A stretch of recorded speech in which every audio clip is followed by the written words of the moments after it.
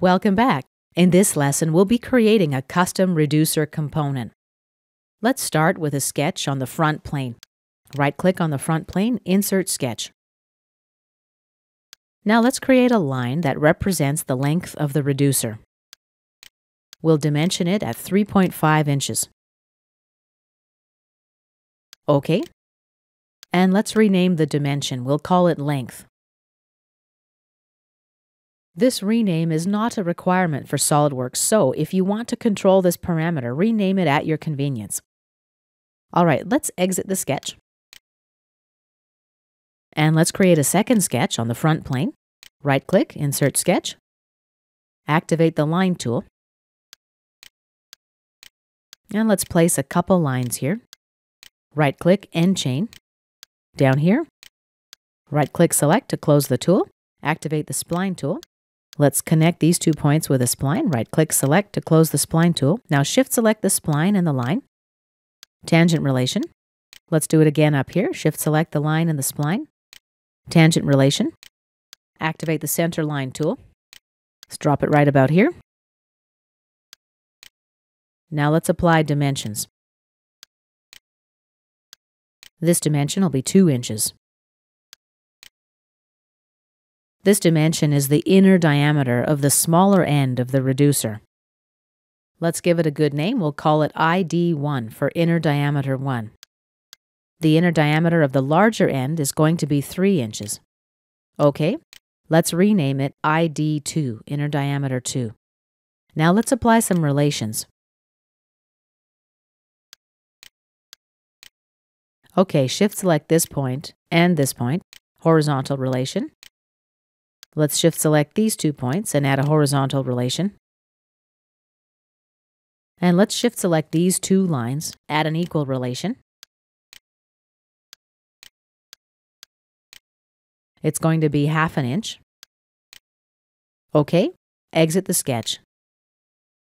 Let's insert another sketch on the top plane. Right-click on the top plane, Insert Sketch. OK, activate the Circle tool. Let's drop our circle right about here. Right-click and select to exit the tool. Exit the sketch. We're on the Features tab. Let's activate the Swept Boss tool. First, we select the profile and my path. We'll use the third sketch as a guide curve. Click OK. Let's activate the Shell tool now. Wall thickness will be 0.2 inches. Faces to remove, let's make our selection here and here. Show preview. Let's opt to shell outward and click OK. If you want to control the wall thickness of the reducer, you can use the shell thickness parameter. And let me show you where that is. That's right here. I'm not going to use it for my example. Let's accept. Let's right-click on the Annotations folder now and hide the dimensions. Next, we need to insert two C points and route points. Let's insert one more sketch for that. Right-click on the front plane, Insert Sketch. We'll take a normal to view. Let's bring in a construction line. Right-click and select to exit the tool. Now let's right-click and select Split Entities. And here's our split point right there. Cancel out of this tool now. Our sketch is still underdefined. Let's select both of these lines. Add an equal relation. Now we've got a point, our split point, which is equidistant from the ends of the reducer. Let's exit the sketch. Let's insert a C point now. Go to Routing, Routing Tools, Create Connection Point. We need to select a face and a point. Routing type, fabricated pipe. Nominal diameter, we can enter a value here or select a pipe. I'm going to select the 2 inch configuration. OK. Stub length, let's leave it at 0 and click OK. Now let's insert a connection point on the other side. Routing Tools, Create Connection Point. Select this face and this point. Now let's select the 3 inch configuration. Routing type, fabricated pipe as well. Stub length, also 0. And OK. Lastly here, let's insert a route point. Back to the routing menu, routing tools, create route point. Let's select this point here. Click OK. Let's change the color of our part now. Right click on the part, go to Appearances, and let's say Fuchsia. Now let's insert a design table. Go to Insert, Tables, Design Table. The source will be Auto Create. Click OK. Let's select the dimensions to include in the table. We'll include the inner diameter 1 and 2, as well as the length, the diameter of C.1 and 2, and let's click OK. And here's our table. Let's just stretch it out a bit.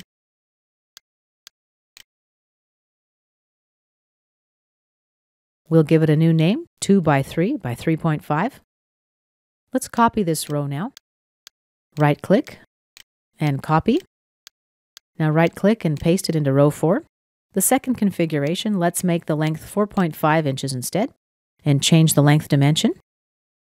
The rest of the parameters we'll leave as is. Click in the graphic area to finish the table. SOLIDWORKS informs us that two configurations were added to the design table. Let's go to the Configurations tab, make this configuration active so we can right-click and delete the default configuration. Yes to confirm. Lastly here, let's save our part Save, we'll call it part 105. Click Save. And finally, we'll bring it into the library. Let's just navigate to the correct folder, Reducers.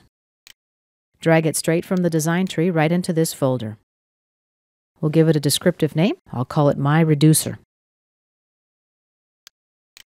And click OK to add it to the library. Now let's create a new assembly document. Okay, cancel out of this property manager. Let's bring in our flange component. Drag and drop it right here. I'll use the 3 inch configuration. Okay, now let's save the assembly. 105. Save. The pipe we created in our previous lesson is selected, 3 inch configuration. Let's click OK.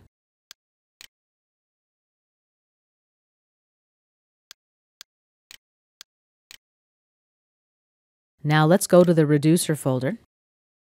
Here's our new reducer, My Reducer. Let's drag it in. Tab to change directions. And let's select the 4.5 inch configuration, OK. And exit the sketch. Activate the Change Route Diameter tool now. Let's select this line. Let's change the length of the reducer from 4.5 inches to 3.5 inches. Click OK and exit the sketch. In my last three lessons, I covered some basic concepts regarding how to create custom routing components. If you'd like to read more about the specifications of different components, I do recommend that you check the SOLIDWORKS help files. And this concludes our lesson about creating a custom reducer component.